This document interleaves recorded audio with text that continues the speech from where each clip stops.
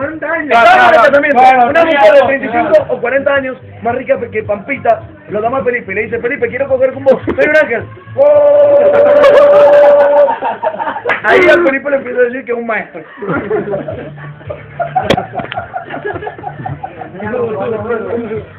¡Hijo de puta! Te cogiste un ángel. Conozco aquí. Ahora, la realidad más Conozco vaginas. La realidad más Conozco vaginas. Ocho vaginas.